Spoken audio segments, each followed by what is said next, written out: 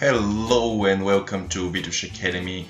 Today I will build a .NET Standard library with uh, C Sharp, not with Visual Basic, and with the .NET as Core SDK in Visual Studio 2019, not 2017. So pretty much I'll create a class library solution following this tutorial. It will not be Visual Basic, it will be C Sharp. Then I would create tests pretty much the tests in the tutorial in C Sharp, so I'll pretty much copy them. And at the end, I will consume it. So it will be really one really tiny, tiny application saying whether the string is uh, starting with a upper letter or not. So let's start. So in Visual Studio, we go to File, New Project, File, New Project. This is what we do. And we look for a blank solution, possibly in C Sharp, of course. We simply write blank solution, and this is it. And click next, and the name of the solution would be class library projects.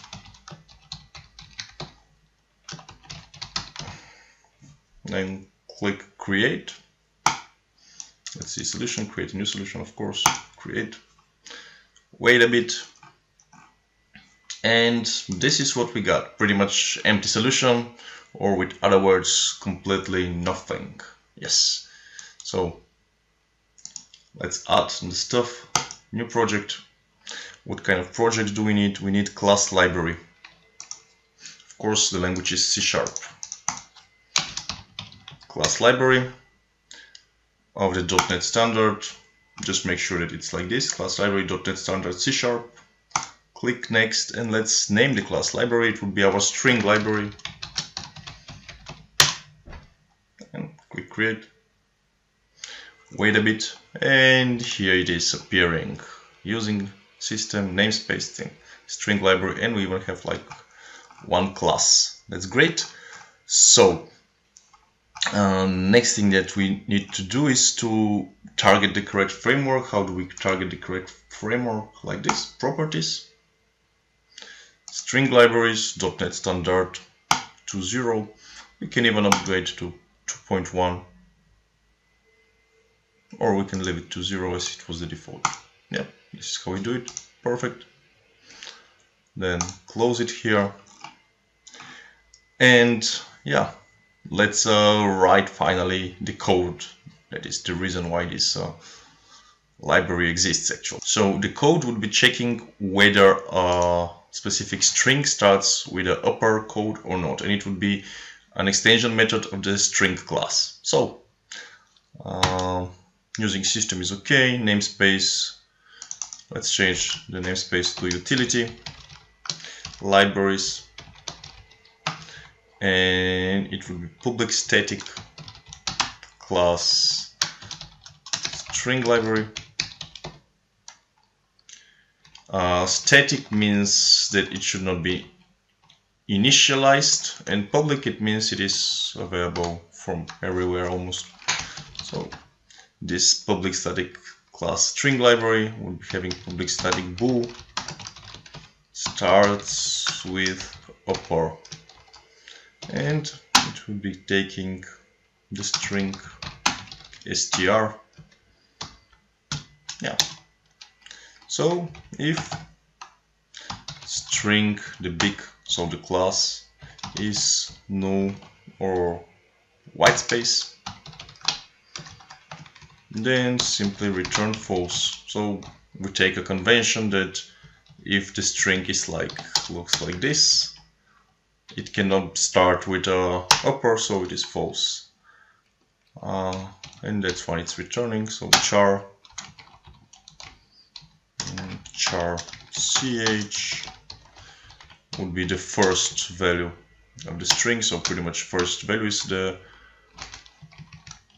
this one. It's not value it's pretty much the string is considered to be an array. And the first thing in the array is this one. So the first position of the array is this one. So ch would be the in this case str0 of this AASFD would be the big A. and what we need to return at the end is whether the char is upper our ch. We can write these two lines into one line like uh, you can say return is upper and then take this etc here. So we wouldn't need this one but so far it looks okay. So let's build it. Build solution. Perfect. And let's continue with the test. So continuing with the test we need to test our stuff. And how do we test stuff? Okay we first thing I forgot to do something. Uh, there is a convention that the file should be named exactly as the class in it. So string library string library. We're following the convention. And now we need another project for the tests. It would be ms test test project. Of course c sharp c sharp .NET Core .NET Core. Cool. Click next. And name it string library test.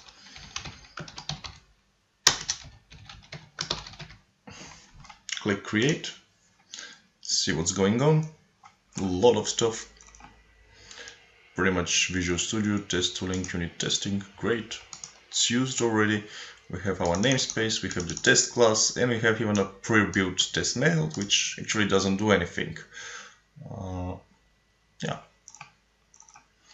So first thing to do is to add the string library to the as, as a dependency. So this is how we do it. Solution string library. Okay, great close this beautiful thing. And the second thing is to write some test methods, pretty much. So these test methods would be using system, uh, the unit testing, and another one would be using these utility libraries, which we were using from here.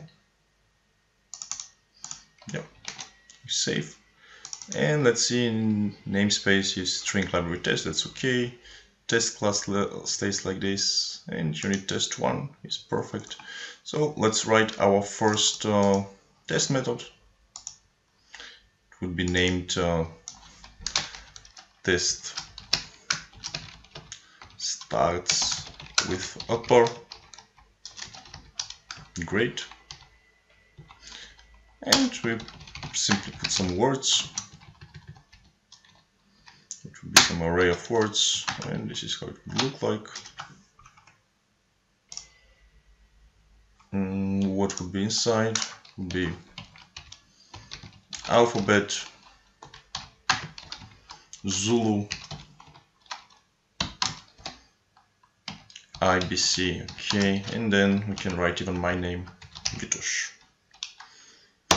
Yeah, and it's this is how I write it in Cyrillic and the name of my website in Cyrillic.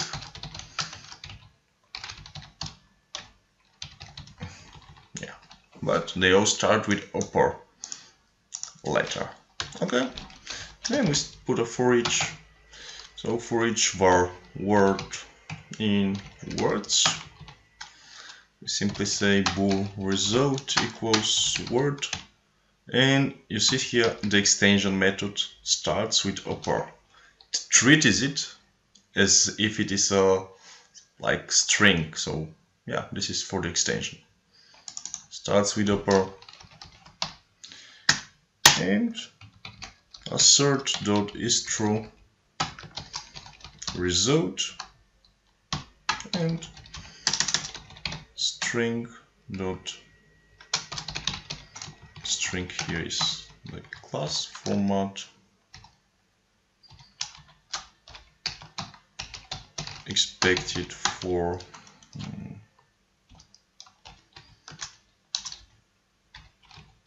zero true actual one. These are the placeholders. This is a placeholder the 0 and the 1 and in this placeholder we will put word and result. Yeah. So far so good I've just pressed Ctrl S and because of the Cyrillic alphabet here, it told me that some Unicode characters in this file could not be saved in the current code package. Do you want to resave the file as Unicode in order to maintain your data? Yes. Thank you. Uh, let's think how should we test it. Pretty much this is the, the way I know. Run all tests and wait a bit. We see the test explorer coming. And my computer needs some time okay To found the test. And everything works okay. We even get like a summary duration and everything is perfect. Yeah. I can ask like uh, to repeat the test. Everything works okay or I can also test from here, run all tests. Perfect. Yeah, or run. Yeah, it works. Uh, let's put a few more tests.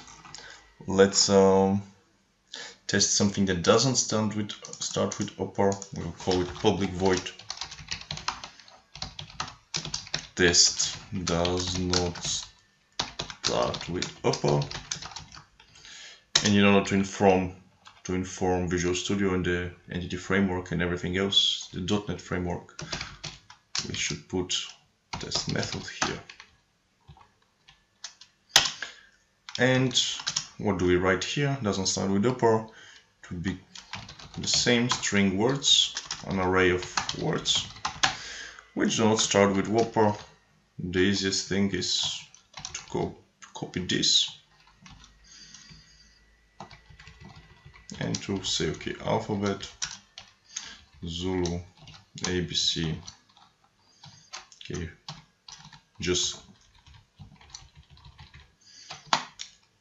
dot com.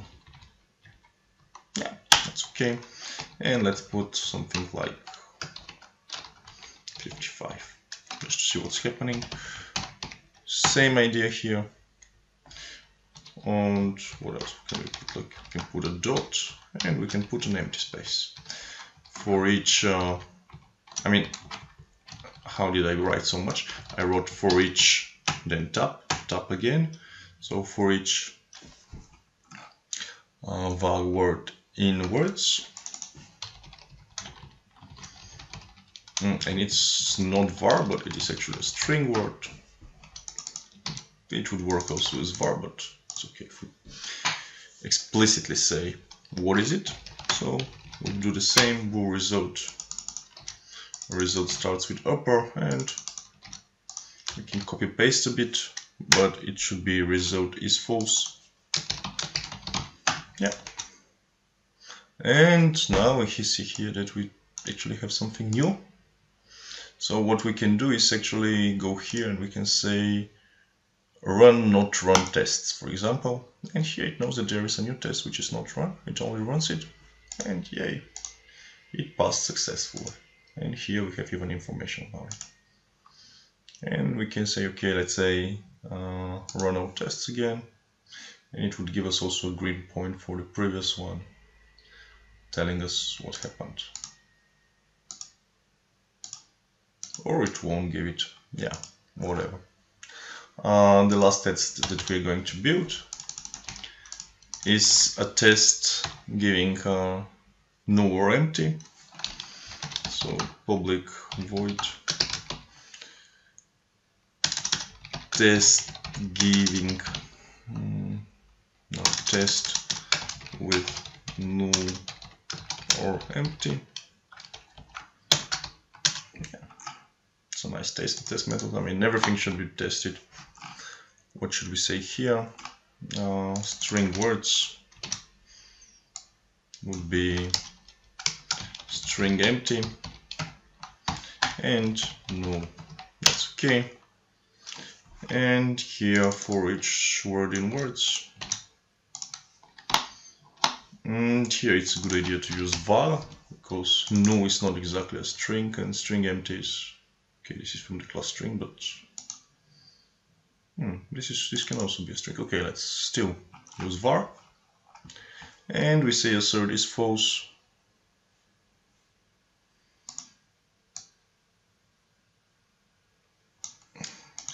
Result assert is false. String format. Expected result for that is false. Actual one and what is it? Here if word is equal to null then ternary operator this is the ternary operator it's null else word result. Mm, and here it's a good idea to cut it off so it's visible. Uh, alright let's run this test as well. Run our test actually.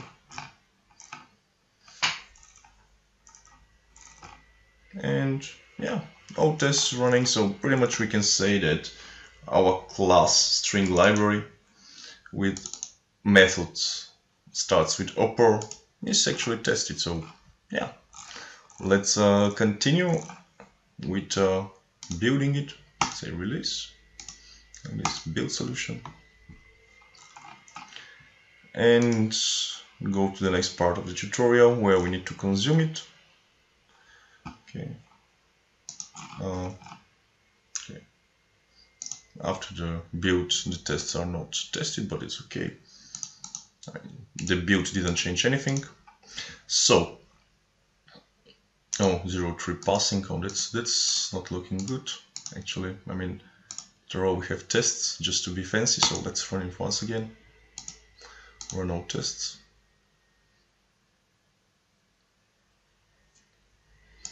And now if we go here we can say yeah we have three passing tests of this. Yes it looks fancy.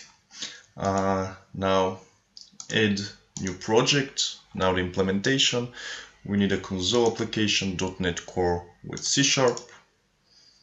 And we're going to name it Showcase yes it's a good name Showcase create and what do we need in the showcase? I mean, there are two ways to do it. We can do first way like this, and we can say set as a startup project. Or the second way that I know was, uh, what was it like? Properties, no, uh, solutions, properties, and from here setting the startup project somehow. Yes, let's say usually show it's like I usually say current selection because I'm solving something but in this case uh, in this case it would be the showcase so it should be the one which is uh, start a project showcase yes.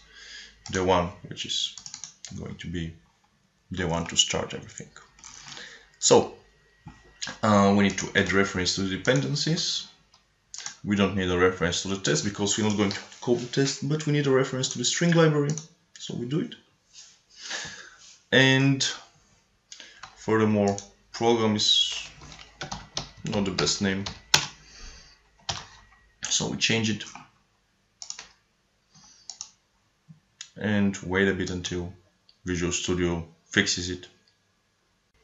Yeah, Visual Studio didn't fix it, I had to restart, it's probably something in my computer, but anyway, now I'm changing the class to be exactly with the same name as the file.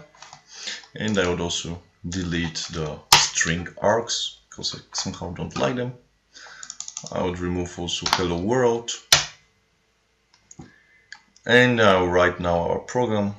Uh, so it would start like this, in row 0 and do. This is do while uh, and here we would stop it. Uh, what would be what would we be doing in this do while is actually the following. Checking if the row is equal to zero or the row is bigger or equal to 25 we'll be writing here reset console function. Here we press Control dot and we simply say hey, I want to generate a method. It's simply private static. Okay it would be reset console and it would be not implemented so far. And let's see string input console.readline so we are reading the input here. And then if string is null empty the input then break. And then console dot write one there is a fancier way to do it. You simply write cw then two tabs.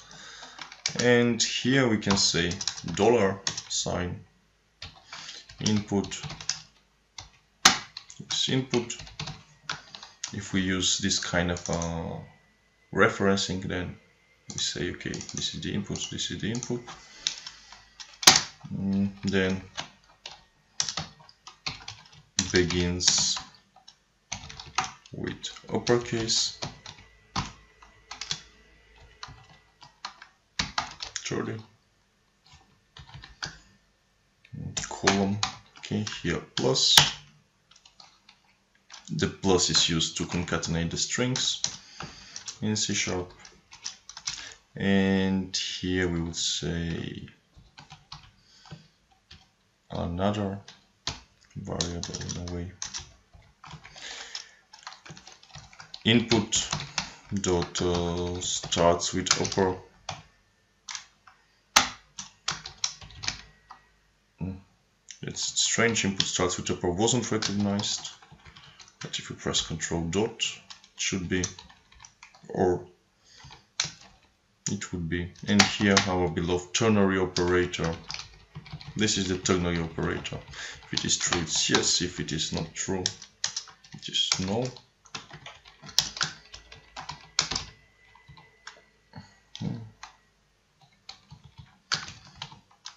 and a new line okay starts with upper somehow control dot mm, doesn't like a lot what I'm writing. Roll plus equals 3. Why doesn't it like, let's take a look the reset console first. Startup reset console. Static void main, everything looks quite okay I would say. Ah, because of the new implement, not implementing exception. Okay, void row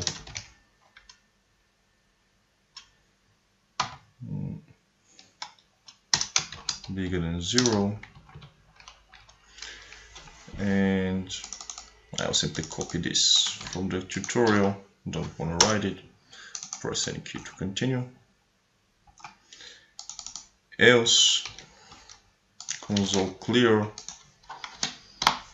And row row okay. Mm -hmm. of course it doesn't like the fact that the row is somehow not declared. And to be honest this is because of this I guess now everything is declared everything is happy pretty much this void reset console is within the static main method when something like this happens, shortcuts in Visual Studio for auto, for auto format are really uh, really good. You can press, press Control KD and everything becomes really really nicely formatted.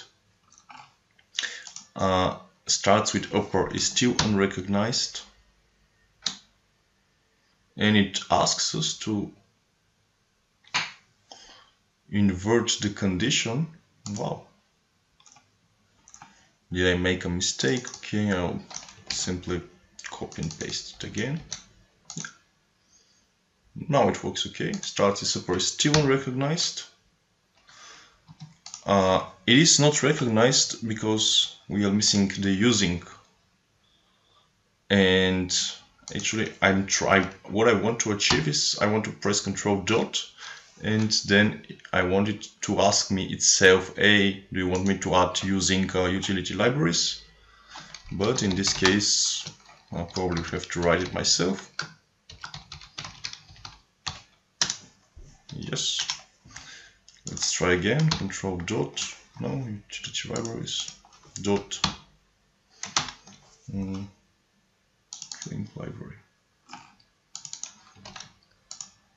string library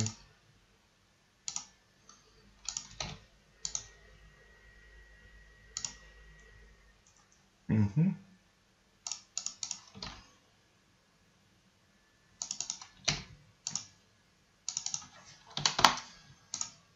I just changed the namespace. Let's see once again. No.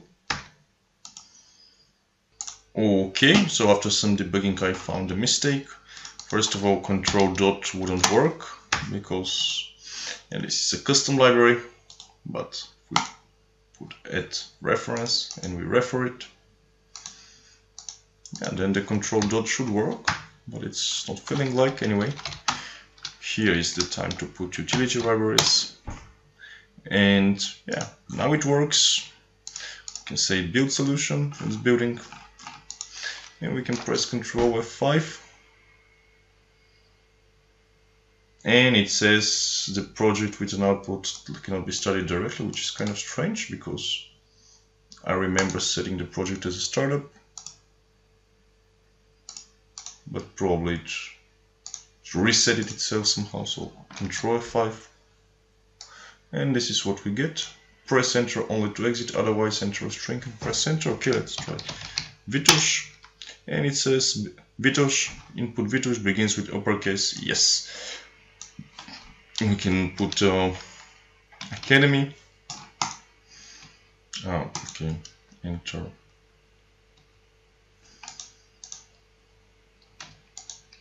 Mm -hmm. And I checked, changed a bit of the code because there was some mistake with the local methods and everything, but now it works. So uh, if it is Vitosh begins with uppercase yes, and here we can say Vitosh begins with uppercase no. Furthermore, we can yeah we can play yeah, and this time I pressed uh, enter faster as I was thinking but pretty much yes thank you for watching.